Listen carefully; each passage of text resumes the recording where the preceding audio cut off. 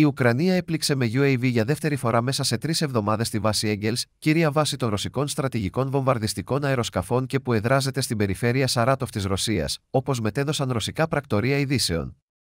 Είναι πραγματικά εντυπωσιακό το γεγονός ότι τα Ουκρανικά UAV κατάφεραν μέσα σε τρεις εβδομάδες να διατρήσουν δύο φορές τη ρωσική αντιαεροπορική άμυνα σε βάθος 730 χιλιόμετρα από τα σύνορα με την Ουκρανία.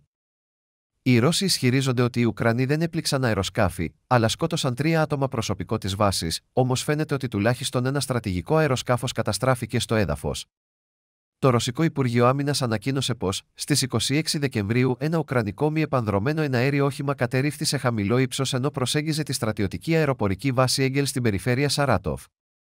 Η βάση Έγκελς είναι μία από τις δύο βάσεις στρατηγικών βομβαρδιστικών της Ρωσίας, ενώ η άλλη βρίσκεται στην Άπο Ανατολή.